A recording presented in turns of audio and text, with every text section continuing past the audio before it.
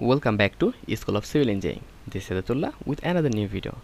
In our previous video, I have just uh, discussed about that how we'll open a new model in CSSF, how we'll define our materials properties, and also how we'll define define slab, beam, footing, and also mat mat foundation properties.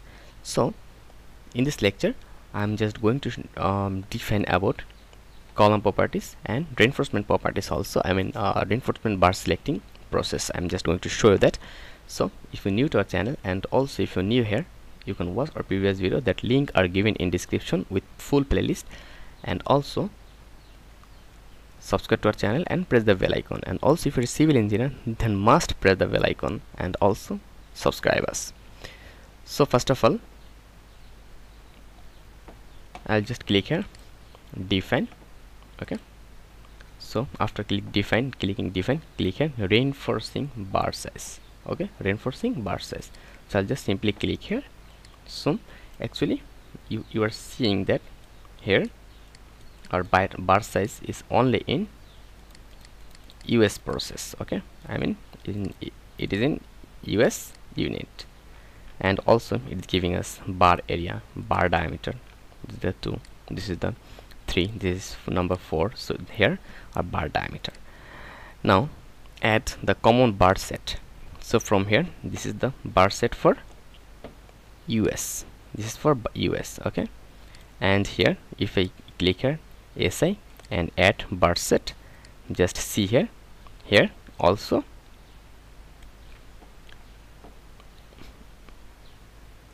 this uh, num bar number with uh, US and also this is bar number with SI both are available here okay? So uh, in matrix and US both are available here. So in this in that way you can select your bar size. So first of all I will just I will always use that size in millimeter because that is available at market at now. That's why I will use that. First of all I will clear wall. So here we have clear wall size and there are many verses. Australian click here this is the Australian verses.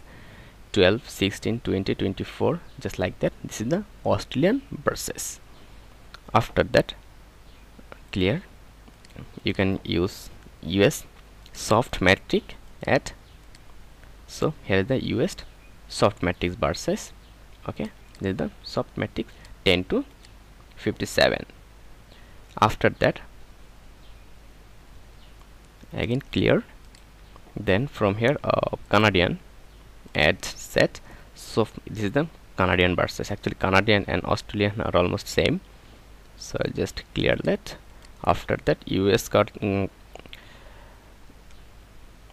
customary you know about that. I will use SI unit. Then add. Okay is our SI versus. Right? So click here. Okay detailing currently available. They will delete if okay. So uh, as I have not detailed till now so I'll just press yes. So it's done. So we have successfully defined our uh, bar, bar properties. I mean which types of bar will use. Actually I have select millimeter because in market it's now uh, available the bar size in millimeter and also the worker and also engineer know about the burses in millimeter very well. Then bar number number 3 4 5 like that. Okay? So after the define and uh, reinforcing burses we have provided. Now we'll go for column properties. So here it's given him column. One actually I'm uh, defining column properties.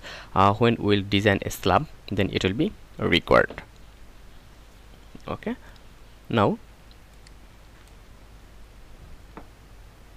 so from here I'll just uh, sorry I'll click here add new properties. So from here the column CUL column it's uh, 12 into 12 12 into 12 size column I will use. Okay. So after that uh, I'll just giving here parallel uh, parallel to 2 axis parallel to 3 axis so after that uh, from here we'll just select our materials properties fc prime to 800 psi after that we'll go ahead and select our column shape shape. What is the column shape actually? This is the column uh, section dim dimension. So from here we'll select column shape okay? So for column shape they have rectangular circular t-shaped l-shape and general. I will select rectangular and from here i will just give here 12 into 12 size column. Okay? Now after that uh, include automatic rigid zone area over the column no I will not give anything here. So uh, also you can give a show properties. So this is the properties actually. And uh, also include automatic drop panel over the column. So if you want to uh, use drop panel just simply you have to click here and you have to give the drop panel size and uh, previously you have to define the drop panel parameters and also so from here just you have to slap uh, properties. Actually um, we do not define any